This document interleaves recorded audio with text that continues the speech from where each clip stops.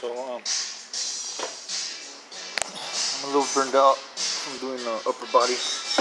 I'll start doing uh, bo- uh, lower body. Uh, as um, one thing that I'm gonna start putting in there is uh, my cardio. And once I start pushing cardio,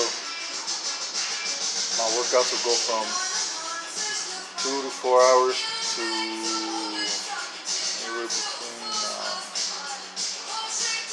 an hour to five hours. Uh, I hardly ever do a, workout that's less than an hour uh, or less than an hour and a half. It's rare for me to do that, so it's it's more like an hour and a half, two hours to uh, five, six hours.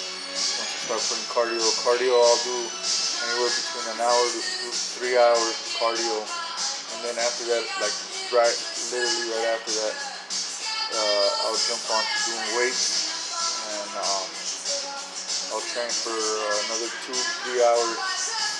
Um, so uh, my workouts are definitely going to change.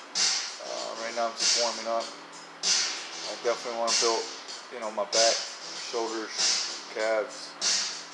You know, as uh, as I look towards the Elena physique, I see that you don't look as big compared to like normal people. You know, your, your posture just changes.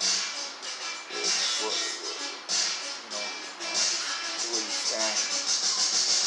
Um, so, uh, so anyways, I'm doing um,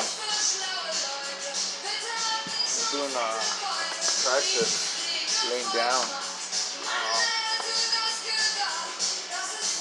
Was doing the incline, but